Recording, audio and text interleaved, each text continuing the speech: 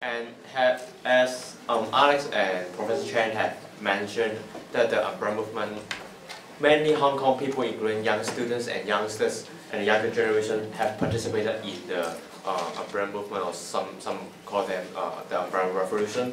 And however, I want to um, share my view on um, how Hong Kong students or how Hong Kong people participate in the um, democratic movement in the past um, few um, decades or maybe past few 30 years. As um, Alex have mentioned that the um, democratic movement in Hong Kong um, does not or did not start in 2014, did not start from the um, umbrella movement. Actually, the democratic movement in Hong Kong started in maybe 1980s, maybe um, 1982 or 1983 that um, the student unions from the University of Hong Kong and the Chinese, um, the Chinese University of Hong Kong have um, raised their opinions on um, 1997 and have raised their demands for democracy, demand for democracy um, in Hong Kong.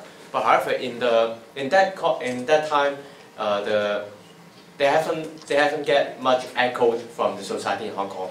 That not much people really care about the future of Hong Kong, including what will happen in Hong Kong after 1997, or they do not care about um, whether democracy or not in Hong Kong. Um, in fact, there are two um, very important um, drafting of documents, including the Sino-British um, Declaration and the drafting of Basic Law. Um, these two important documents, or so-called constitution in Hong Kong, actually uh, decided the fate of Hong Kong. The Sino-British Declaration and the Basic Law draft in the 1980s actually uh, have um, is very was very influential to the fate of Hong Kong. The, in, the influence um, continued up till this moment.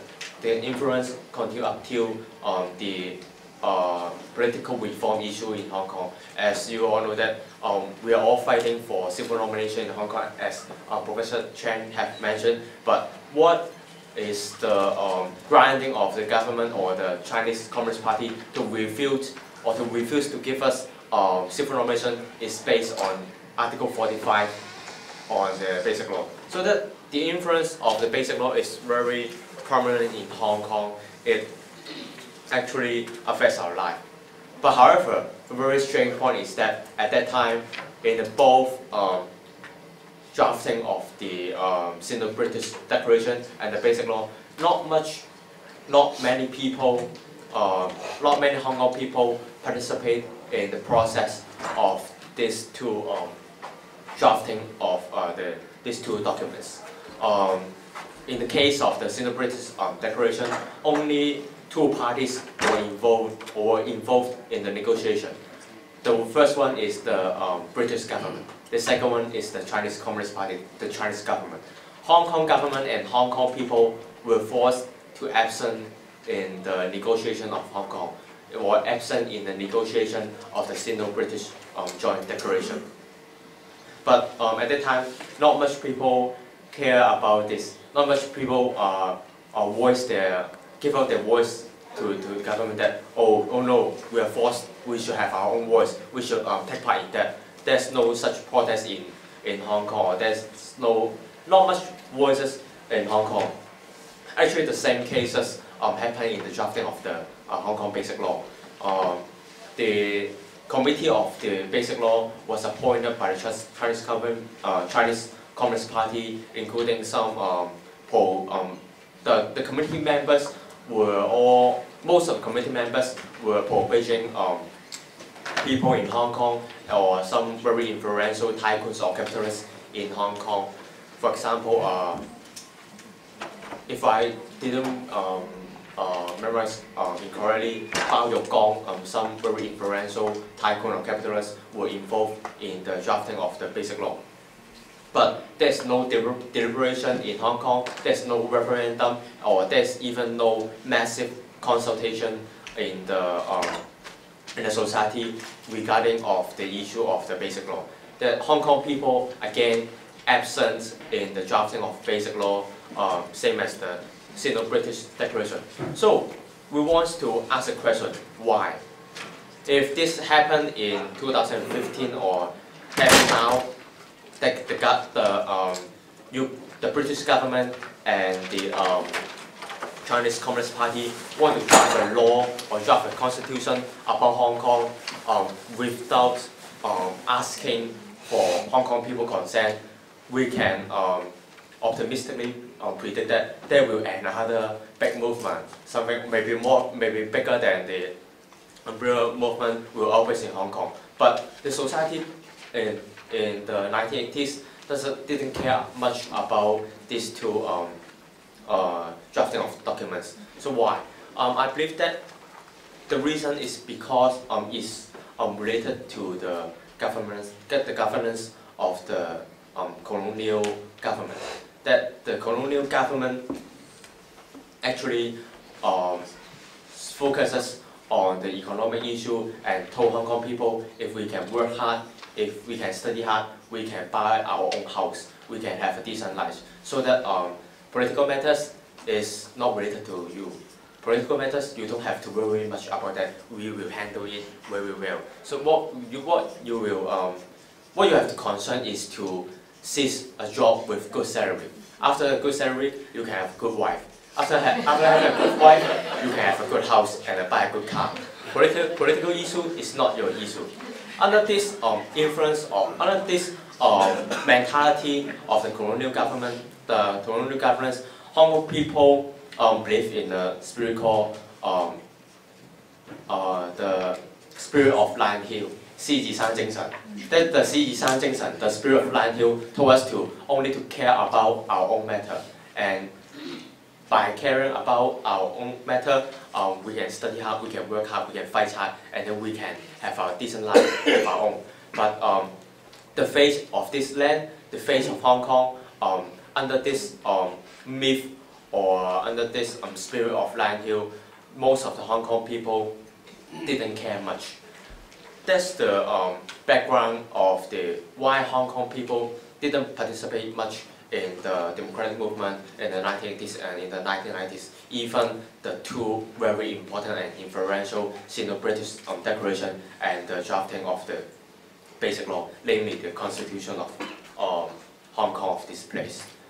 So that um, we believe that this is um, under the process of colonization that um, Hong Kong people are quite or if not totally indifferent to politics. They do not believe that um, they should or they can come out or um, they go out to protest to fight for their own future, to fight for, their own rights, including to fight for their own rights to participating in the drafting of the basic law.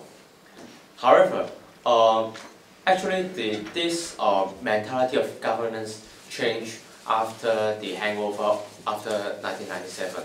In the um, before 1997, um, the, the, uh, the colonial government, the British government, do not um, want to um, they, they only want to um, focus on the economic matters in, in Hong Kong. They do not want to care about, they will not, they not want to care um, a lot on political matters because of under the pressure or under the influence of the Chinese um, government, Chinese Communist regime. But after 1997, Chinese Communist Party um, gained the control or gained, um, gained the territory con controlship of the um, gain the ownership of Hong Kong, they start to change the strategy to um, govern this place. Um, I would like to um, maybe analyze how the Communist Party um, fought on this place and how they um, see on the democratic movement or political reform in Hong Kong. Actually, I believe that um, although promised and claim on the Sino um, British Declaration and the Basic Law that Hong Kong people can enjoy our own rights to elect our chief executive and elect our own legislative councillors. Actually, I believe that the Chinese Communist Party or Chinese government did not have any intention to give genuine democracy in Hong Kong because what rests on the value of genuine democracy or liberal de democracy is freedom, equality, rule of law, such a value that the Chinese Communist Party deem or see as hostile value from the Western, uh, from, from the Western countries. As you all know that um, the one of the uh, major point that uh, the Communist Party care a lot about is ideology. They always see ideology is their, as their top priority to um, in, in the matters of um, maybe national security. And in the, in, the, in the case of Hong Kong, in the case of um, democracy, they see these values, liberal democracy, rule of law, freedom, or equality, they see there are ideologies from Western. Hong Kong people are po were poisoned by the um, UK government. They're poisoned with these um, values that could harm the governance of the, the authoritarian governance of um, Communist Party over China. Once that um, Hong Kong can establish a genuine democracy, a liberal democracy that can reflect this um, so-called um, Western ideologies value, such as, um, as, as I've mentioned, um, freedom, equality, rule of law, that will harm the um, governance of or the single party dictatorship of the Communist Party in China.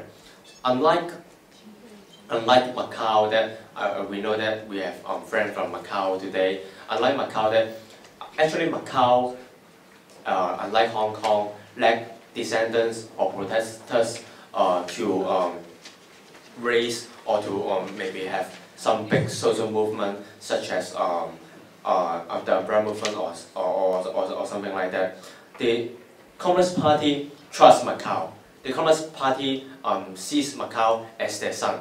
But Hong Kong, um, Hong Kong people, Hong Kong, uh, uh, this place, which was poisoned by the um, Western ideologies with liberal democracies, they are not their own son. So that they, they have to use another way to, um, to uh, govern Hong Kong. So that um, we have, you can see um, Alex and Professor, Professor Chen have mentioned the election method or the election system in Hong Kong that the chief executive were only elected by 1,200 and our legislative councillors, only half of our legislative councillors were elected by um, 5 million of people. Other half were other, uh, either uh, appointed or elected only by a small circle of people from um, the pro-Beijing parties. So that um, this have uh, quite a numerous problem that some Hong Kong people under the influence of the um, mass media or the social media may really treat um, the, some of the um, student activists as the leader, including um, the Federation of Hong Kong and the Scholarism. But more and also many people in the um, occupying area and the protest area do not think that we are the leaders of the movement. But we cannot develop a complete um, system or procedures to um, to, to maybe choose the own leader or maybe to discuss or deliberate or maybe vote on how this uh, movement will go on or how this movement will process. So that this is a major problem in the uh, in, in, in, the in the movement. And for myself, I'm actually quite suspicious or skeptical to this um, kind of uh, the process of mass media as why Joshua Wong become famous or my, why uh, me or Alex uh, become very famous or so-called um, student leader in Hong Kong is the um, because the influence of the um, social media. This is a very problem. This is uh, I, I believe that it is a huge problem that um, maybe every um, protest will, um, will, will face that. Actually, I believe that we don't need a hero. We don't need uh, a single very charismatic leader to lead the protest. Actually, I agree with some of the claim that um, there's no leader, there's no best, uh, um, there's no um, so-called a 大台, big stage in, in, in, in, in, the, in the movement. Uh, but organization or the um, con reach, reaching consensus between different um, protesters or different people in the occupied area is also very important. Although we may not have, um, we don't we don't need a leader, but we need um, maybe a way to discuss or to decide how the protest will carry on, how the protest will go on, or how the protest will end. This is a more important question that we will well we may have to think more about to um, in our future movement instead of um, choosing um, another charismatic leaders um, again and again.